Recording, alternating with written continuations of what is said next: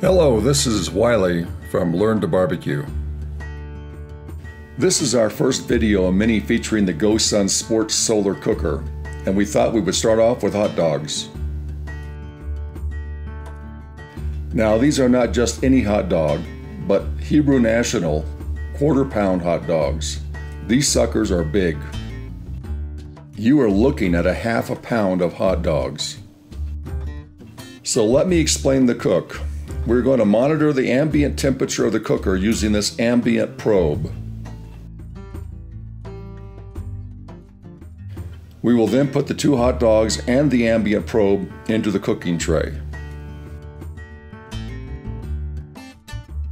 Next, we will take out the meat temperature probe and insert into the middle of one of the hot dogs.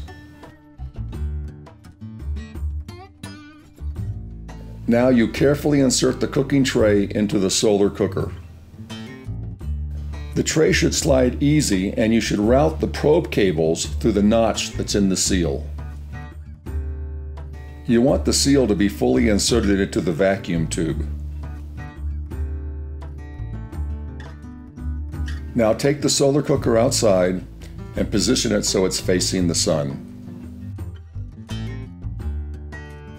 I used the Fireboard Smart Thermometer to monitor the cook, and here is the chart. The solar cooker's ambient temperature was 71.3 degrees Fahrenheit, and the hot dog temperature was 53.5 degrees Fahrenheit. My target temperature for the hot dog was 155 degrees Fahrenheit.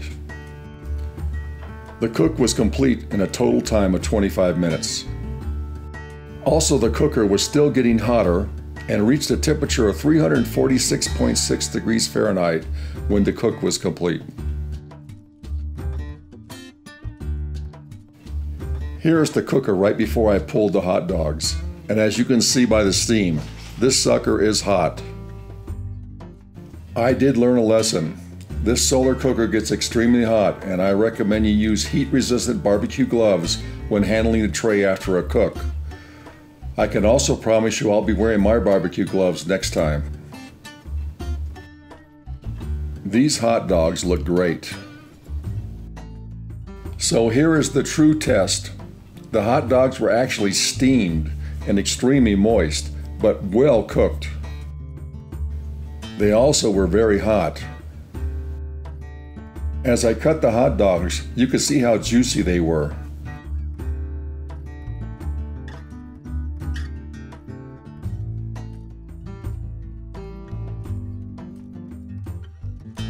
Now the taste test. Well, this is a great hot dog that is cooked perfectly and it tastes fantastic.